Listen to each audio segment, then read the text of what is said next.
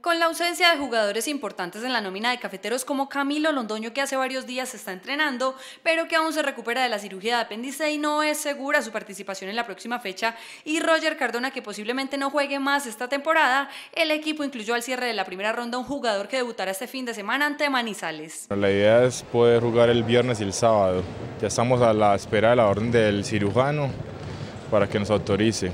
No veo la hora, realmente sí que me juego.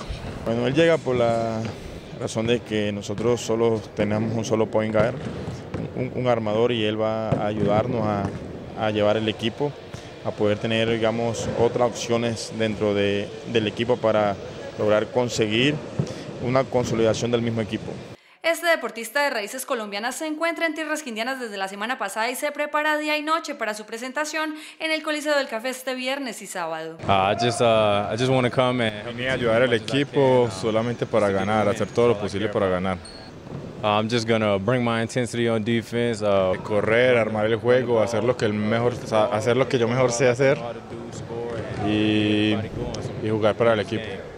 El objetivo es fortalecer al equipo y asegurar partidos menos ajustados para cafeteros. Aseguraron desde el equipo que con este refuerzo se podría disminuir la presión en el juego y se tendrán más opciones de cambio a lo largo del encuentro. Todo esto con una única meta de recuperar el liderato en la tabla de posiciones y seguir entregando al departamento las alegrías que solo el baloncesto profesional le hace sentir a su hinchada.